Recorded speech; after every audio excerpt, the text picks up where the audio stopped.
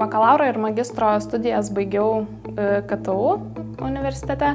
Mano baigiamojo darbo vadovas pasiūlė e, bendradarbiauti su IT Lietuva. Taip ir atsidūriau čia. Mano pagrindinė veikla yra CO2 emisijų skaičiavimai, e, kuriuos pradėjom su kitomis korporacijos šalimis vykdyti praeitą vasarą. Tai mokėmės, kaip apskaičiuoti CO2 emisijas planavimo etape ir sėkmingai tęsiam darbus iki šiandien.